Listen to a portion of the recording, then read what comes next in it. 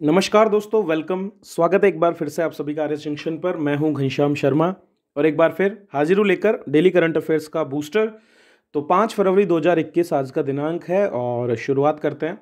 Sub inspector exam, बहुप्रतीक्षित exam था जिसका नोटिफिकेशन निकल चुका है। तो तैयारी में जुट जाइए दोस्तों, इंतज़ार मत कीजिए और अभी से अपना रूटीन बना लीजिए, अपना टाइम टेबल बना लीजिए और उसी के अकॉर्डिंग पढ़ना शुरू कर दीजिए।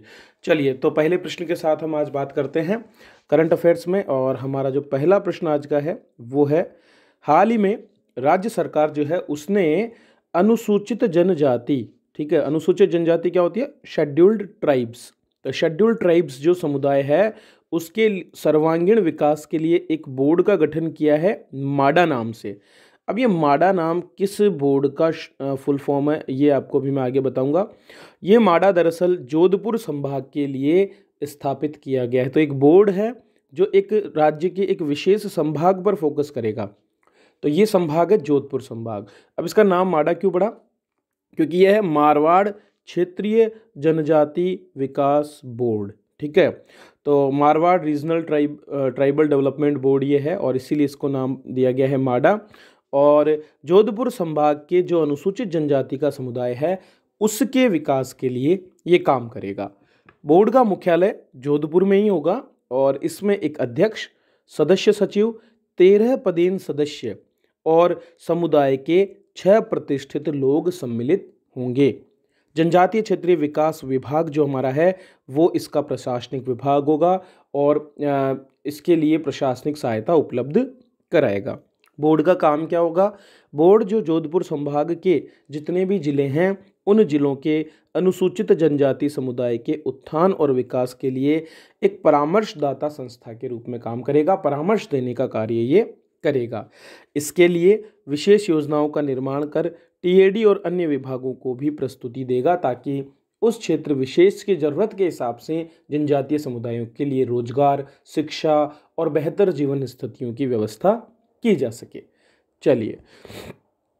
दूसरा प्रश्न भी राजस्थान से ही जुड़ा है। आज राजस्थान के प्रश्न ज़्यादा है। राष्ट्रीय महिला आयोग, इसकी स्थापना का दिवस हाल ही में आयोजित किया गया और इस दौरान राजस्थान की आंगनबाड़ी कार्यकर्ता इशरत बानो को सम्मानित किया। प्रश्न है, इशरत बानो का संबंध किस ज़िले से है, किस क्षेत्र से है? उत्तर होगा जयपुर। तो जयपुर में दोस्तों इन्होंने कार्य किया कोविड नाइन्टीन के दौरान और महिला कोविड योद्धा के रूप में इनको प्रशंसा पत्र और कोविड शील्ड राष्ट्रीय स्तर के समारोह में दिया गया, जब राष्ट्रीय महिला आयोग का उनतीसवां स्थापना दिवस मनाया गया। तो सम्मान समारोह में राजस्थान, मध्य प्रदेश, झारखंड, मिजोरम और तेलंगाना की एक एक महिला, आंगनबाड़ी कार्यकर्ता, जो आशा कार्यकर्ताएँ हैं, उनको सम्मानित किया गया था। तो पाँच महिलाओं में हमारे राजस्थान की इशरत बानो ने भी राज्य का नाम रोशन किया है। क्यों दिया गया, ये जान लेते हैं। तो कोविड नाइन्टीन के दौरान जयपुर में एक क्षेत्र है जिसको बोलते हैं ईदगाह कच्ची बस्ती। ईदगाह कच्ची बस्ती में सैनिटाइजेशन से लेकर के घर घर जाकर सर्वेक्षण करना, लोगों को मास्क, सैनिटरी और नैपकिन के पैकेट बांटना, राशन और भोजन के वितरण करना, बाहर से आने वाले लोगों की जानकारी का संकलन करना, सर्वेक्षण और डेटा एकत्रित करने जैसे इतने कार्य उन्होंने किए और पूरा समय, क्योंकि बाद में इनके बारे में चर्चा भी अखबारों में काफ़ी रही थी तो अपना पूरा समय इन्होंने देते हुए ईमानदारी से अपने पद पर कार्य किया और लोगों को मदद पहुंचाई और इसीलिए इनका चयन किया गया ताकि इन्हें सम्मानित किया जा सके और ये सम्मान इनको मिला, जिसके साथ ही प्रदेश भी गौरवान्वित हुआ है। चलिए। निम्नलिखित में से कौन एक 2020 में सबसे मूल्यवान भारतीय सेलिब्रिटी रहे? मूल्यवान से तात्पर्य है, एक ब्रांड वैल्यू जो होती है, अर्थात किसी व्यक्ति के साथ आप काम करें और वो आपको पूरा मुनाफा कमा के दे या जिनकी डिमांड रहती है, ऐसे में विराट कोहली को सर्वोच्च स्थान पर रखा गया है।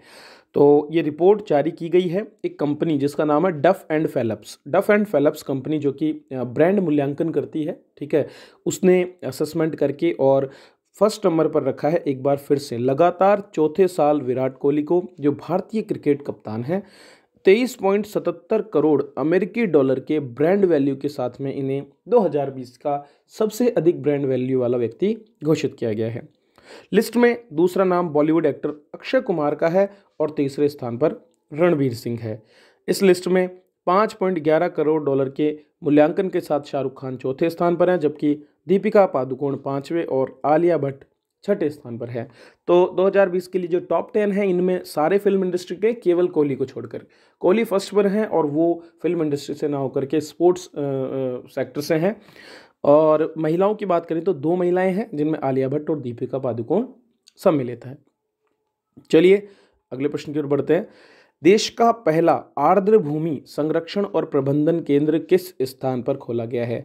दोस्तों, आप सभी जानते हैं, दो फरवरी को हाल ही में हमने विश्व आर्द्र भूमि दिवस मनाया और इस दौरान हमने करंट अफेयर्स में बात भी की थी। तो इसी को देखते हुए आर्द्र भूमि को संरक्षण प्रदान करने और उनके प्रबंधन के लिए, चूँकि देश में अब बयालीस से भी अधिक आर्द्र भूमि क्षेत्र घोषित किए जा चुके हैं और इसी क्रम में चेन्नई में पहला आर्द्र भूमि संरक्षण और प्रबंधन केंद्र खोला गया है। ठीक है तो दो फरवरी 2021 को आर्द्र भूमि दिवस के अवसर पर ही इसे चेन्नई में स्थापित किया गया है। इसका नाम है आर्द्र भूमि संरक्षण और प्रबंधन केंद्र, centre for wetland conservation and management. ये इसका नाम है। इसे आपके पर्यावरण, वन एवं जलवायु परिवर्तन मंत्रालय जो है ministry of environment forest and climate change उसके अधीन national centre for sustainable coastal management का हिस्सा बनाया है। तो तटीय क्षेत्रों में चूँकि आर्द्र भूमियाँ काफ़ी बड़ी मात्रा में हमारे पास स्थित हैं, ठीक है, यह समर्पित केंद्र क्या करेगा? सबसे पहले तो ये देखेगा कि जो अनुसंधान की ज़रूरत है और जो ज्ञान की कमी अभी हमारे पास में है आर्द्र भूमियों से संबंधित, उसको कैसे पूरा किया जाए? उस समस्या को संबोधित करेगा। और जो आर्द्र भूमियों के संरक्षण और प्रबंधन के लिए दृष्टिकोण हमें चाहिए, जो विज़न हमें चाहिए, उसको अपनाने में भी ये सहायता करेगा।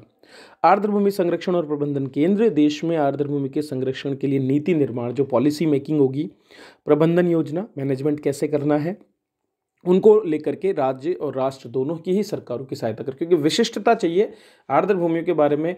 वैसे तो कमेटियाँ काफ़ी बनाई जाती है, लेकिन एक विशिष्ट पैनल हो जो कि इनसे रिलेटेड विशेषज्ञों को धारण करे, वही इनके बारे में बता सकता है। अब इससे फ़ायदा क्या होगा? इससे क्या होगा? बहुत से जो शोधकर्ता हमारे यहाँ काम कर रहे हैं, पर्यावरण एक्टिविस्ट जो काम कर रहे हैं पॉलिसी मेकर्स जो हैं, वो सभी को एक नॉलेज हब के रूप में ये काम करेगा। क्यों? ये लगातार उनको जानकारी प्रदान करेगा कि कौन से कौन से एरिया फ्रगाइल हैं जहाँ पर हमें बहुत ज़्यादा काम करने की ज़रूरत है और किस तरह से हम इनको सुदृढ़ कर सकते हैं। तो देश में बयालीस से भी ज़्यादा जो हमारे वेटलैंड ऑफ़ इंटरनेशनल इंपॉर्टेंस हैं, उनके संरक्षण में ये केंद्र काफ़ी मददगार होगा। चेन्नई में इसे स्थापित किया गया है। चलिए बात करते हैं एक युद्धाभ्यास के बारे में। भारत और अमेरिका के बीच में एक युद्धाभ्यास किया जा रहा है, जिसका नाम ही है ऑपरेशन युद्धाभ्यास। ऑपरेशन युद्धाभ्यास नाम से एक युद्धाभ्यास का आयोजन हो रहा है और इसका आयोजन बीकानेर के महाजन फ़ील्ड फायरिंग रेंज में किया जा रहा है। तो पहला युद्धाभ्यास ये लगभग होगा, जो राजस्थान में आयोजित हो रहा है। भारत और अमेरिका ने सात से बाईस फरवरी तक बीकानेर में ये अभ्यास करने के लिए जो है आयोजन किया है। ब्रिगेड लेवल का होगा और दो सप्ताह के अभ्यास में दोनों देशों के 250 से अधिक सैनिक इसमें भाग लेंगे। अभ्यास का चौबीसवा संस्करण है। इसकी शुरुआत के बाद से आखिरी अभ्यास अमेरिका में हुआ था 2019 में। देखो, ये बहुत इंपॉर्टेंट प्रश्न है। मान के चलिए कि इस तरह के प्रश्न, जैसे अब बीकानेर में हो गया तो ये प्रश्न आने की 99 परसेंट संभावनाएँ हो जाती है। ठीक है? यह अभ्यास 2020 में महामारी के कारण आयोजित नहीं हुआ था तो महामारी की वजह से कहीं पर भी इसका आयोजन नहीं किया और इसीलिए इस साल इसको अब आयोजित किया जा रहा है। अभ्यास का मुख्य उद्देश्य आतंकवाद विरोधी अभियान और दोनों देशों के बीच युद्ध प्रक्रियाओं में प्रशिक्षण के लिए कौशल को बढ़ाना है। ज़्यादातर यही होता है टेररिज्म को लेकर के हिली टेरेन एरिया में कैसे आप जो है एक्सरसाइजेस को अंजाम दे सकते हैं और यही चीज़ें इसमें वर्तमान में की जाती है। तो ये थे दोस्तों आज के करंट अफेयर्स जिस पर मैंने आपसे चर्चा की। इन्हीं करंट अफेयर्स का 2020 का कंप्लीट एडिशन अवेलेबल है हमारी एप्लीकेशन आर एस जंक्शन पर।